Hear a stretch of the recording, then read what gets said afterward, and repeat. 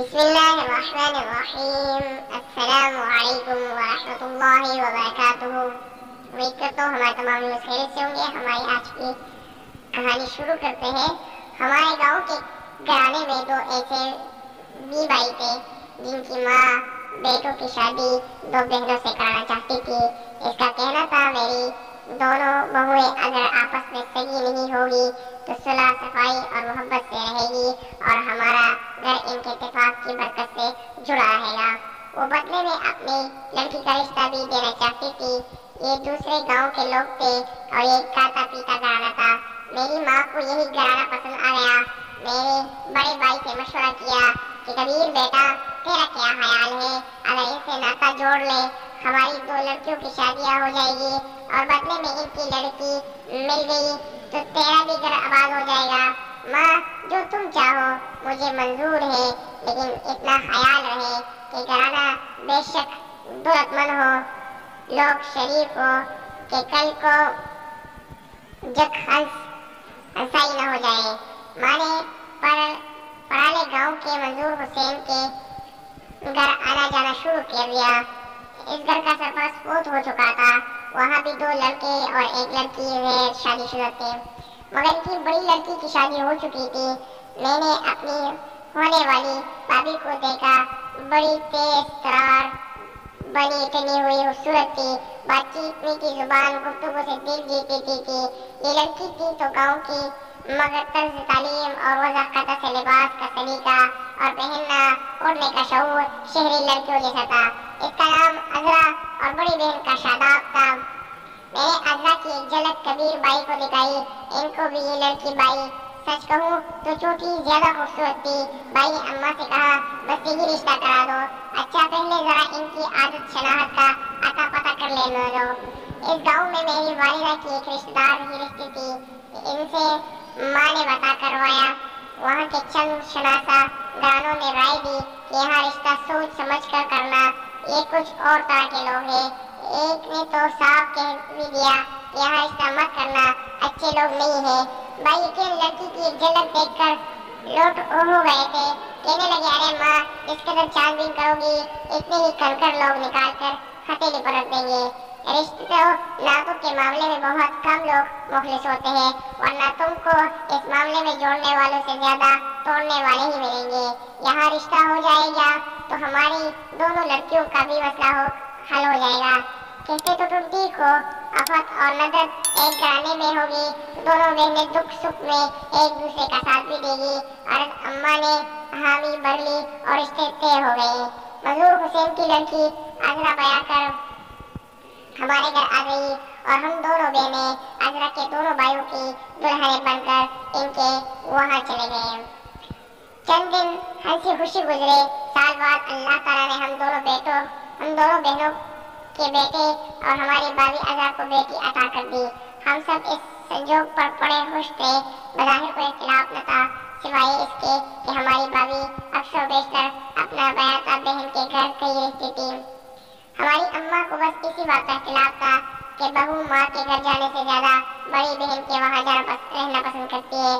خیر اس اعتراض کے باوجود دونوں گھروں میں زندگی کی گاڑی بخوشی چل رہی تھی کہ تین گھر آباد تھے۔ اماں جب بھی کبیر بھائی سے اس کی بیوی کی بہن کے وہاں جا رہنے کی شکایت کرتی، بھائی ان کو سمجھایا تھا کہ ذرا صبر سے کام لو رفتہ رفتہ اپنے گھر میں دل لگا لے گی۔ شروع میں ایسا ہی ہوتا ہے ازا کو بڑی بہن سے بہت لگاؤ تھا تبھی وہ چلی جاتی تھی۔ میں خود اس کو چھوڑ کر آتا اور بہن اس کی واپس چھوڑ جاتی تھی۔ ایک روز بھائی کبیر کو علم ہوا کہ وہاں محکمہ میں ایک اسامی آئی ہے۔ بیوی کی بہن کے گھر کو دلچسپی دیکھ کر انہوں نے ایک دو سے شہر رابطہ کیا اس کے مطابق محکمے کے افسر سے کہہ کر میرے بھائی کا تبادلہ پرالے گاؤں کر دیا۔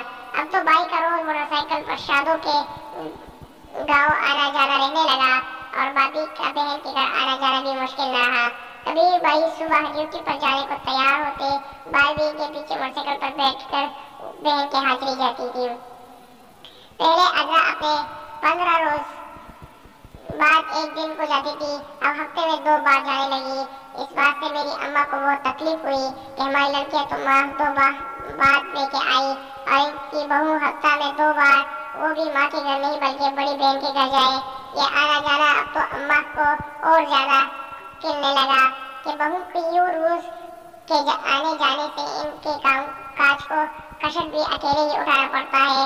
جس گاؤں میں بھائی کبھی کا تبادلہ ہوا تھا، وہ ہمارے اما ابا کے گھر سے تیرہ چودہ میل پڑتے۔ یہی وجہ تھی کہ اگر بابی وہاں جا کر ایک دو روز پڑھتی کہ اب تو کبھی کا روز آنا جانا ہے۔ جب چاہوں گی، چلی جاؤں گی۔ بھائی کا تبادلہ مکہ آر کے زیر دفتر میں ہوا تھا۔ یہاں کام کا اتنا دباؤ نہ تھا۔ ملازمین میں، ملازمین ویلے بیٹھے ہوتے تو ادھر ادھر کی آنکھیں اور کبھی کوارے مردوں والے گپ شپ بھی کرتے۔ کہ ایک گاؤں کے پڑھا لڑکی تو بس لاکھوں میں ایک ہے۔ اس گپ شپ میں کچھ شادی شدہ مرد بھی گفتگو میں شامل ہو جاتے ایک روز یہ فارغ حضرات آپس میں ایسی باتیں کر رہے تھے کہ بھائی بھی ان کے پاس جا بیٹھے۔ لڑکیوں کا ذکر چل گیا۔ ایک دوست بولا، شادی بڑی پھیکی ہے۔ تو دوسرے نے کہا، اور حضرت، یار، وہ تو جواب ہی ہوگی۔ ہاں مگر اس پر زیادہ مال حج کرنا پڑے گا۔ شاید۔ اور جب اس سے اس کی شادی ہوئی ہے، آسانی سے تو مل نہیں سکتی۔ جب شادوں کا موقع لگ جائے گا، وہ مل سکتی ہے۔ شادوں اور عذرا کے نام سن کر بھائی کے کان کڑے ہو گئے، کیونکہ ہماری بھابھی کا نام بھی عذرا اور اس کی بڑی بہن کا شاد تھا کون سی شادو یار؟ بھائی نے سوال کیا۔ آئی وہی جن کا گھر کمیٹی چوک کے پاس ہے۔ مزور مرحوم کی بیٹی ہے۔ وہ خود تو بڑا ماس تھا۔ اس کے مرتے ہی لڑکیوں نے پر پردے نکال لیے۔ گویا وہ بھابھی اس کی شیرہ مختار و ذکر کر رہے تھے بھائی کا تو کان سننے لگے بیوی کو یوں جلد جلد اپنے ہمشیرہ کے گھر دوڑ کر جانے کا مطلب سمجھ میں آنے لگا اس دوست وہاں سے اٹھ کر گھر آ گئے لیکن دل میں ایک تیرا سا فوس تھا کہ جس کو نکالنا بے چین سے سانس لینا دشوار ہو رہا تھا دوسرے روز اکیلے میں اس آدمی سے کہا کہ شادی شادوں کے بارے میں ذرا تفصیل سے بتاؤ کیونکہ میں جاننا چاہتا ہوں جو ایک شریف آدمی کی بیوی ہے وہ کہنے لگا رہنے دے یار مت شرافت کو تم مت لگا اگر یقین نہیں آتا تو کل ہی بلوا دیتا ہوں جانے کیا سوچ کر بھائی نے رقم اس آدمی کے ہاتھ پر رکھ دی کہ وہ صرف ایک جھلک بس دیدار کرانا ہے وہ دن موت بے چینی سے کاٹا کبیر نے دعا مانگی خدا کر کے وہ شادو ان کی بیوی کی بہن یعنی ان کی سالی نہ ہو بھائی نے تو اپنے گھر کی بربادی چاہتے تھے اور نہ ہم دونوں بہنوں کو اجاڑ کر گھر واپس لا بیٹھنا چاہتے تھے بابی اللہ سے بڑا پیار کا تصور بھی نہ کر سکتے کہ ان کو طلاق دے دے لیکن اب اس شیر کے منہ میں سر میں دیا تھا اور وہ جو کہتے ہیں کہ اکلی میں سر دیا مول سے کیا کرنا سو مول کو خود دعوت دے بیٹھے شام کو اس شخص کے دیوے پڑے کے ساتھ گئے اور رات ہونے کا انتظار کرنے لگے دل دھڑک رہا تھا پھل خوش تھا یوں لگ رہا تھا کہ ابھی کچھ دیر میں سور پھونک جانے والا ہے۔ رات کے ساڑھے دس بجے پہ ایک شخص ایک برقع پوش اور کو لے کر آ گیا۔ لاٹین کی روشنی میں کبیر بھائی نے اس کو دیکھا وہ شادو ہی تھی ان کی سالی، اس کی عزت وہ بہن کی طرح کرتے تھے۔ ان کی پیاری بیوی کی بہن تھی۔ اس کا گورا گورا مکڑا کالے برقعے میں چمک رہا تھا۔ جوں ہی اس کی نظر بھائی پر پڑی۔ چہرے کا رنگ فق ہو گیا۔ اچھا تم ہو شادو، جس کے سارے گاؤں کے آوارہ مزاج مردوں کی زبان پر چلتے ہیں۔ ایک ایک کا وہ وہاں سے اٹھ کر باہر نکل گئے اور موٹر سائیکل پر بیٹھ کر گھر آ گئے رات کسی طرح قیامت کی مان کٹی اور صبح ہی ماں کو یہ مدعا سنایا کہ اذا کو طلاق دے دی ہے۔ ماں نے لاکھ منع کیا، روکتی رہی کہ بیٹا شادت تھی اذا تو نہ تھی، تم بس دیر پر روک لگا دو کہ ادھر کا روک کرے اور نہ اس سے واسطہ رکھے۔ اپنا اور اپنی بہنوں کا گھر کیوں برباد کرتے ہو؟ مگر مرد ذات کی فکر پہ شک بسا رکھتا ہے۔ اور جب معاملہ بیوی کا ہو، تو اس کے گھر والوں کی نیکی، چلنے کی ضمانت بھی چاہیے ہوتی ہے۔ اگلے روز اذا لے کے پہنچا دی گئی۔ اس کے جواب میں ہم دونوں معصوم اور بے قصور بہنوں کو بھی شوہر طلاق دے دی۔ کیونکہ ان کی بہن کو شک کی بنا پر ہمارے بھائی نے طلاق دی تھی۔ ہمارے دونوں بیٹے ان کے پاس اور بابی کی لڑکی دادی کے پاس۔ بچے بھی اجرے اور ہم بھی۔ اب ہم بہنیں روتی تھی کہ بھائی تم نے تو ہم پر قیامت ڈالی، ہم اچھے بھلے گھروں میں آباد تھے ہمارا کیا قصور تھا کہ ہمارے گھر اور بچے ہم سے نہ حق چھینے گئے۔ گاؤں کا مگر یہ دستور تھا، اگر ایک عورت کو شوہر طلاق دے دے تو اس کے بدلے کی بیاہی عورت کو بھی طلاق مل جاتی ہے اور دونوں طرف کرانے اجڑ جاتے ہیں۔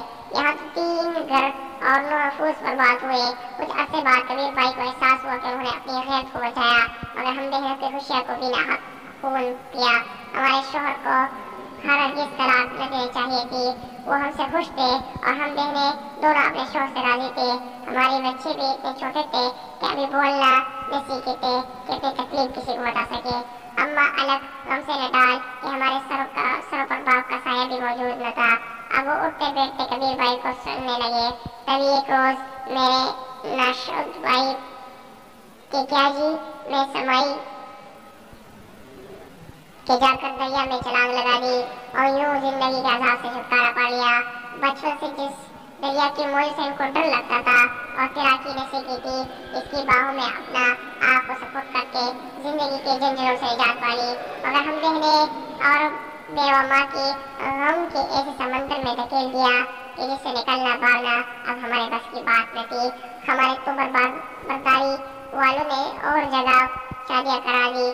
مگر اماں جب تک جیتی رہتی بیٹے کی یادیں یاد میں آنسو بہاتے تھے بلاخر ان کا نور آنکھوں کا نور کو کور میں سا جا سویا۔ امید کرتے ہیں ہماری آج کی ویڈیو آپ کو ضرور پسند آئی ہوگی، اس طرح کے مزید کہانی سننے کے لیے ہمارے یوٹیوب چینل کو سبسکرائب کریں ساتھ میں لائک پر ضرور کلک کریں تاکہ ہماری ہر نئی آنے والی ویڈیو کی نوٹیفیکیشن آپ کو بہت ملتی رہے۔ اگلی کہانی تک اللہ نے